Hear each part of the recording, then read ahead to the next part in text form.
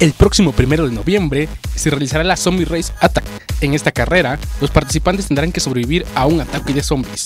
Este evento se llevará a cabo en el bosque del Tequio a las 5 de la tarde, constará de un recorrido de 5 kilómetros donde los competidores tendrán que sortear 7 obstáculos. Se competirá en ambas ramas, en las categorías libre y sub 16. La inscripción tendrá un costo de 250 pesos, que incluye hidratación, asistencia médica, medallas y número de competidor.